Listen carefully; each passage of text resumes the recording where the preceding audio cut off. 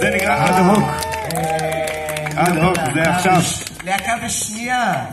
זה אפס כולם פה מוכתמים במכבי קוף. אמ, היה ממש כיף.